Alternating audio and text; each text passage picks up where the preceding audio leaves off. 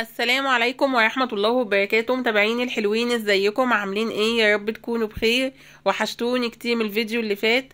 عندنا مش هقول بقى ولا فيديو ولا اوردر أنا جاية لكم ومكسوفة منكم قوي. بس إحنا النهارده عاملين أكلة إيه؟ بسيطة خالص وإيه؟ سهلة كده عملتها في نص ساعة. طب عملت الأكلة بسيطة ليه كده؟ عايزة أقول لكم النهارده كان يوم صعب جدا. بدخل الشتوي وبطلع الصيفي. أصعب يوم عندي في كل سنة سواء بقى في الموسم اللي أنا بغير فيه الهدوم يعني فاهميني؟ عايزة أقول لكم كنت قاعدة في جبل هدوم يعني فاهميني؟ وطبعا ما عملتش أكل ما عملتش أوردرات وعمل لما طلعت الشنط ودخلت الهدوم و... بدأت أدخل المطبخ الساعة ستة. ولادي أصلا قالوا لي إحنا خلاص هنموت من الجوع من كتر ما أنا إيه قاعدة ونسيت الغدا. فالمهم بقى دعبست في الفريزر كده وتعالوا أقول لكم عملت لهم إيه. عملت حاجة بسيطة كده بس قبل ما نبدأ الفيديو قبل أي حاجة يلا نصلي على رسولنا الكريم ونقول اللهم صل وسلم وبارك عليك يا حبيبي يا رسول الله. أول حاجة بقى زي ما أنتم شايفينها كده حطيت حلة كده حلوة فيها مية عشان تغلي علشان نسلق فيها مكرونة تمام؟ وجبت حلتين كده زي ما أنتم شايفين. حطيت في كل حلة معلقة سمنة وكان عندي أربع بصلات. حطيتهم في الكبة زي ما أنتم شايفين كده وحطيت في حلة يعني الكمية الأكبر من البصل اللي هي الحلة الجرانيت والحلة الاستانلس حطيت فيها إيه؟ يعني معلقة بس من البصل المفروم تمام؟ أو بصلاية صغيرة تمام؟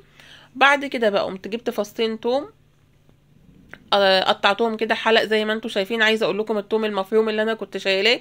خلاص أكتر حاجة مزعلاني يعني. إن شاء الله بقى أبقى أجيب حبة طبعا هو نشف دلوقتي بس أبقى أجيب حتى إيه وأعمله برطمان صغير ببرطمان بيسهل جامد جدا يعني. المهم لقيت بقى عندي في التلاجة زي ما قلت لكم في الفريزر حوالي ربع كيلو من الصدوق وحوالي إيه ربع كيلو من اللحمة المفرومة. هعمل فيهم إيه؟ مش هينفع اعمل كل حاجة لوحدها. المهم قمت جايبة ربع كيلو صدق. ده بعد لما البصل أخد لون كده مع فصين الثوم قمت مقطعاه مكعبات كده يعني قطعته صغير كده زي ما أنتم شايفين ونزلت بيه إيه؟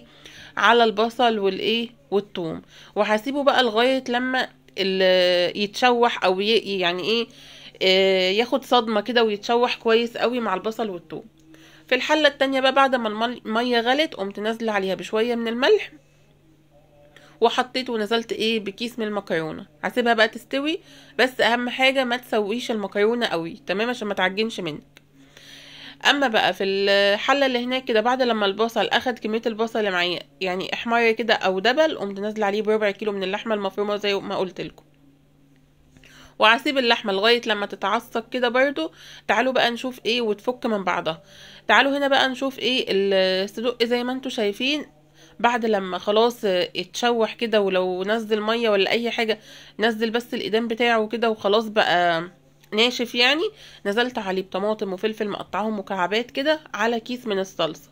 عايزة أقول لكم اكياس الصلصة دي أحسن من البرطمانات. أنا بجيب برطمانات طبعا بحكم الشغل بتبقى عندي بس الكياس دي فيها معلقة أو مع يعني معلقة كبيرة بتبقى أسهل.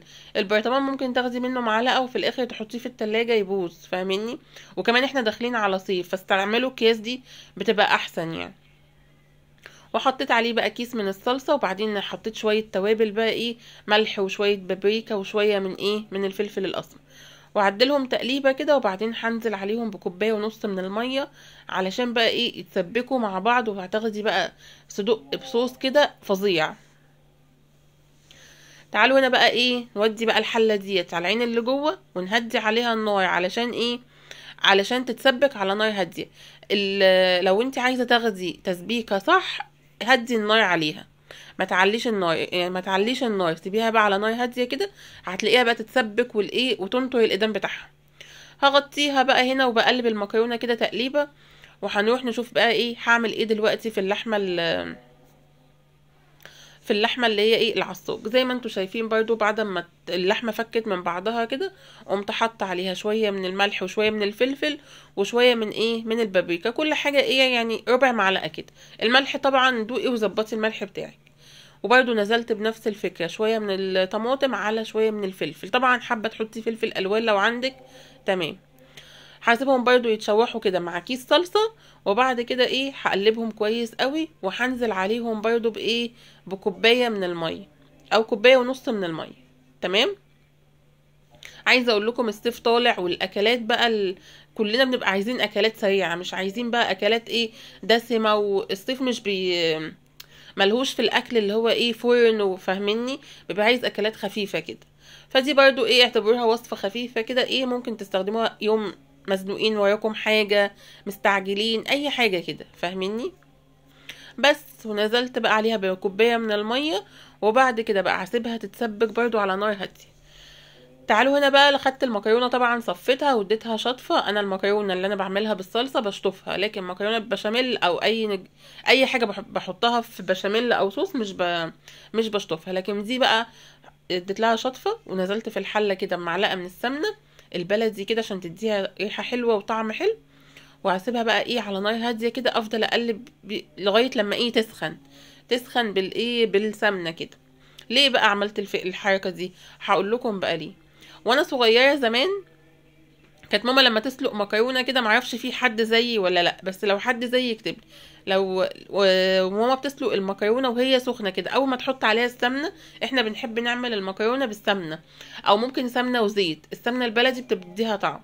ناخد معلقتين كده من المكرونة وهقول لكم هنعملوا فيها إيه بس بالله عليكم متضحكوش عليا.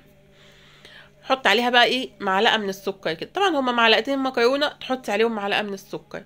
عايزة أقول لكم أحلى يعني حاجة حلوة تحفة. أنا كنت بحبها قوي يعني تاخدي معلقتين كده أو هي سخنة وتحطي عليها معلقتين سكر وتقلبيها. بتلاقي السكر ده إيه ساح كده وهي سخنة تلاقيها عملت شبه ال- الصوص كده. بتبقى طعمها حلو قوي النهارده حتى افتكرتها وأنا بسلق المكرونة فايه قلت أعملها وأدوقها لاولادي فعجبتهم. الحمد لله يعني عجبتهم مع إن هم إيه يعني أنا عمري ما عملتها في البيت بس افتكرتها فقلت إيه أقول لكم في حد بيعملها ولا لأ. هنا بقى خلاص شايفين بقى الصوص اتسبك بتاع الطماط بتاع اللحمة وبتاع الصدوق. هنبدأ بقى نغرف لهم بقى الأطباق عشان شوية وإيه هياكلوني يعني. بس طبعا بقى انت حابة بقى تاكلي الصوص ده لو انت عايزة تا- تاكليه بالعيش مش عايزة تاكليه بالمكرونة ممكن تحمري بطاطس جنبها وممكن بقى تسيبيها تتسبك لغاية لما الصوص بتاعها ينشف شوية وتبقى عادي تغمسيها بالعيش. لكن إحنا عملنا جنبها مكرونة كده وطبعا إيه اللي حابب بقى يحط صدق يحط اللي حابب يحط لحمة مفرومة يحط يعني إيه فاهمة؟ فاهمني أنا هحط إيه طبق كده وطبق كده وفي الآخر أصلا عيالي ما عملوش كده. هم عيالي حطوا mix ده على ده. قالوا لي لا هو كده نعملها زي البيتزا مشكل لحوم. فقلت لهم ماشي يعني. بس وده الفيديو عايزة أقول لكم كان عندي امبارح order بس وما عرفتش أصوره معاكم ليه؟ لأن أنا كنت فعلا لسه عاملاه قريب فما صورتوش معاكم إن شاء الله بقى استنوني في فيديوهات تانية وأشوفكم في فيديو جديد والسلام عليكم ورحمة الله وبركاته.